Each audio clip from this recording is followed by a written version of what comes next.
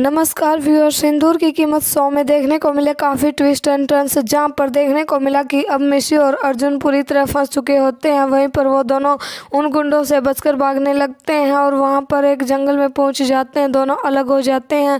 अब जैसे ही मिशी गिरने वाली होती है तो वहाँ पर अर्जुन पहुँच जाता है और मिशी को पकड़ लेता है।